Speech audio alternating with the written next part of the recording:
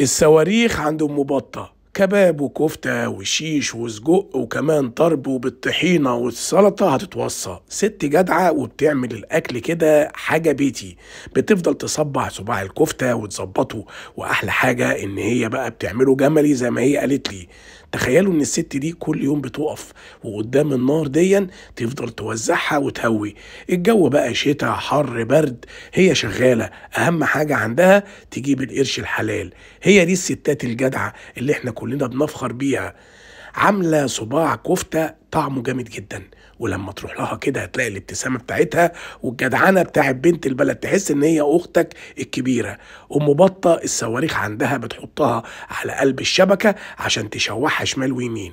هتلاقوها في ميدان الجيش في قلب المنطقة اللي كلها ناس محترمين زي أم بطة. هتروحوا عندها وتطلبوا أحلى صاروخ ب 20 جنيه وتحط لك شوية الطماطم والسلطة الحلوين. هي دي الرسالة اللي أنا عايز أوصلها لكل الستات المحترمة. أهم حاجة إن الناس تعمل حاجة تكون بتحبها وتخاف ربنا فيها. شوفوا بقى منظر سندوتشات الصواريخ تفتح النفس والرغيف كده مطرقع من الجمال الفحم وكمان باظظ من بره الكفتة. وخد بقى السلطة بتاعت الطحينة وكمان سلطة القوطة والمية بتاعتها. صواريخ عندها ومية السلطة وكل حاجة حلوة موجودة.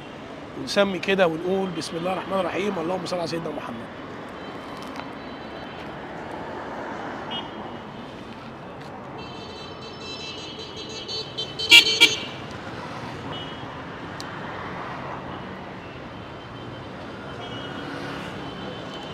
لكن طعمه حلو. وهي ست محترمة شقيانة. هي مش بعيدة.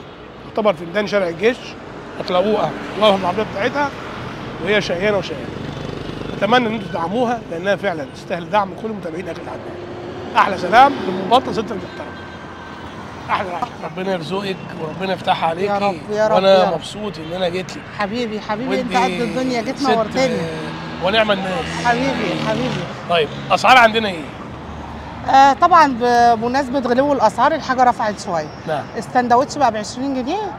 آه كيلو كفتة خصم خاص للأستاذ عدنان 180 هو ب 200 أيوه. خصم خاص للأستاذ عدنان 180 والفرخة شرحه أيوة. برضه ب 200 خصم خاص للأستاذ عدنان برضه 180 طب والكباب؟ والسجق شرحه آه، والكباب؟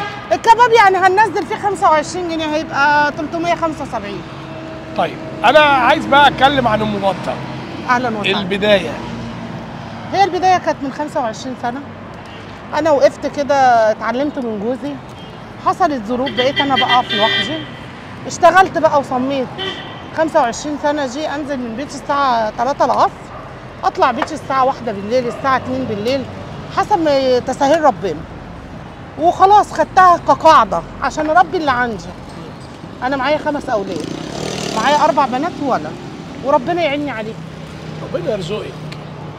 اتعلمتي بقى فيه. اتعلمت من جوزي. آه. وجوزي اتعلمها من أبوه لأن دي وراثة ابا عن جدا. أبوه كان بيقف عند حبش اللبان هنا. عارف طبعا. آه.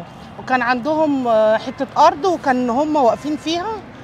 واللهم صل على النبي آه، وهو كان بيساعد أبوه لأن هو الكبير. نعم.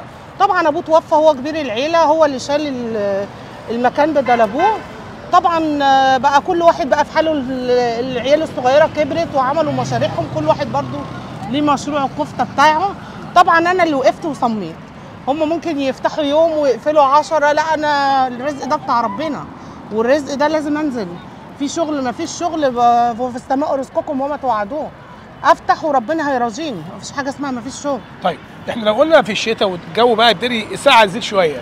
بنزل والله. تنزلي والله العظيم بنزل. في عز النطرة ما كانت بتنطر آه. من حوالي فترة كده أنا كان عندي هنا شغل نار.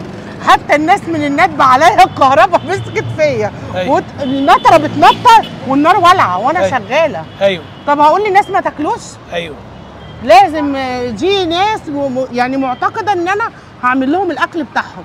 نعم. ومعتمدين عليا أقول لهم لأ. لا طبعا. فوقفت النطره آه بتنطر بقيت أقف تحت البتاعة دي. تحتها نور آه وبلف الأكل وأسوي أحط حطيت الشواية هنا وبقيت أسوي هعمل إيه؟ ربنا يكرمني بالحلو وبإذن الله ربنا يصلح الحال. طيب أنت دلوقتي تعتبر أنت اللي بتصبعي وأنت اللي بتشكي آه. وبعد كده بتشوي أيوه. وبعد كده بتحطي الطلب. طب لما الناس بفضل الله بتكبس عليكي. معايا سيد جوز. آه بينزل يقف آه معاك معايا أبو فاطمة. الحاجات دي ناس تملي تقول آه، مستورد آه، لا ده بلدي. لا لا لا لا انت لا. شغالة أنا إزاي؟ أنا بجيب حتة لحمة جملي. أنا اتشهرت بحتة اللحمة الجملي. يعني كفتة آه، جملي. كفتة الجملي آه. صباع الكفتة بتاعي بيجي له من آخر الدنيا. طيب. واللي بيجي مرة. وبيعجبه الأكل طبعا بيجي خمس مرات. طيب السجق. السجق برضو أنا اللي بعمله وأنا اللي بفرمه. فرمتي وأنا اللي كده آه وأنا اللي بحشيه. آه. أنا اللي بقطع حتة اللحمة وأفرمها وإحنا اللي بنحشيها. بطه الفراخ اللي عندك. أنت بتشتريها من الجزار؟ من عند الفراج اللي قدامي. فريش. آه، فريش. بجيب الفرخة 2 كيلو والفراخ غليت. آه ما غليت عليا وعلى الزبون مش غليت عليا أنا لوحدي آه. بجيب الفرخة 2 كيلو 2 كيلو وربع واجيبها وأروح مقطعه الفرخة 12 قطعة. يعني ده اللي على النار ده ربع فرخة. آه يعملوا كام بقى الربع؟ ثلاث حتت. بكام؟ آه أنا ببيعه ب 50 بس عشان خاطر الأستاذ عدنان 45 طيب بيطلع معاه السلطة والعيش والحاجات دي آه. بيطلع معاه عيش وسلطة طب ما فيش حد بقى بيقول لك أنا عايز مثلا صدور لوحدها آه ده كتير كتير الحاجات دي في ناس بتطلب وراك بس آه. في ناس بتوع الجيم بيطلبوا صدور بس بس آه. عشان ما يبقاش فيها دهون آه آه آه. فأنا اللي بيطلب حاجة بعملها له بيطلع معاه بقى السلطه بيطلع معاه. سلطة القوطة وسلطة الطحينة ورغيفين عيش يعني آه، حاجة حلوة تشبع طيب إحنا دلوقتي بطة لو قلنا إن داخل علينا كل سنة وأنت طيبه رمضان. كل سنة وأنت طيب. بالنسبة بقى ساعتها هتعملي إيه؟ أنا بفتح من الساعة واحدة الظهر لغاية على الفطار. أنا بفطر الناس كلها وأنا ببقى آخر واحدة أفطر. آخر أنا واحد. ممكن أفطر العشاء عادي. عادي. آه. أنا عندي أوردرات بتجيلي طبعا الناس بتتصل بيا من الساعة واحدة. يا ام فاطمه اللي عايز كيلو كفتة اللي عايز 2 كيلو كفتة اللي عايز فرختين اللي عايز عادي. كيلو كباب آه. بجهز كل حاجتي وألف في فويل وأشيلهم. طبعا بيفضل الأكل سخن. ويجي على الفطار أدي كل واحد الأوردر بتاعه. طيب أحب أسألك بقى سؤال وتوجهيه لكل الستات. أنت بتقفي في الشارع بيحصل مضايقات ولا عادي؟ لا أنا خلاص من كتر وقفتي في الشارع بقيت راجل زي زي أي زي الرجالة. والشاطره أنت طبعا هتقابل كتير. الشاطره اللي هي بتتحكم في نفسها. الست الشاطره الجدعة اللي ما تديش فرصة لحد يتطاول معاها. بيبقى في حدود في الكلام.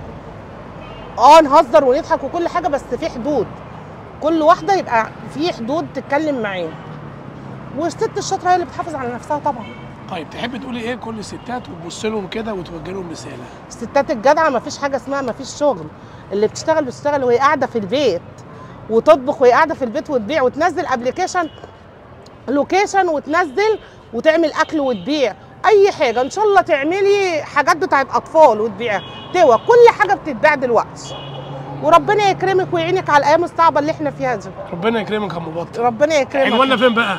إحنا في أول في ميدان الجيش آه. قدام قهوة القماح وعلى نصيص حامل المسك. حامل المسك آه. أو القماح. أو كشري السلام. كشري أي- السلام. كل دول ام بطة قدامهم والكشك يعني. تعالى عشان ما يزعلش بقى هو هو كمان صاحب الكشك ده. وصاحب الكشك ده. عم ممدوح. ربنا يديك يا ام بطة. ربنا يديك. الصحة، ربنا. يديك الصحة، ربنا أهم يخليك حاجة ليا. ان أنت تهتمي بكل متابعين اكله عدنان لما يقولوا لا طبعا ده حاجة حاجة أفتخر بيها ده طبعا. شرف ليا. والدليفري. موجود؟ آه أنا لما بيكون في هنا أي حد محيط حواليا أنا اللي بوجه له ال order. ربنا يديك الصحة. والله العظيم أنا ما بستكبرش على حد. ما بقولش للشغل لأ. مش عيب. اصل أنا واقفة هنا اهوت عشان يجي لي جنيه. لو أنا هتنك على ده واقول لها لا أنا مش هروح. أنا النهارده موديه order للويلية عند عبده باشا. أيوه. مش إشكال مش عيب. ما دام شغل ومرزقة مش عيب. بودي اوردرات المقاولين وأنا اللي بطلع اوجهها بنفسي. ما فيهاش حاجة. أي مرزقة. ده في الزمن ده الجنيه بيجي صعب. شرفت بيكي. الله يبارك لك. وانت طيب وانت طيب يا قلبي. جدعانة يعني مبطل. أجدع سلام للناس المحترمين الستات المكافحة اللي زيها. أتمنى إن إحنا ندعمها وناخد منها صواريخ كفتة بجاب الصاروخ صحيح ما ب قلتليش. 20 جنيه. 20 جنيه صاروخ الكفتة من عند مبطع أحلى سلام. شكرا مبطل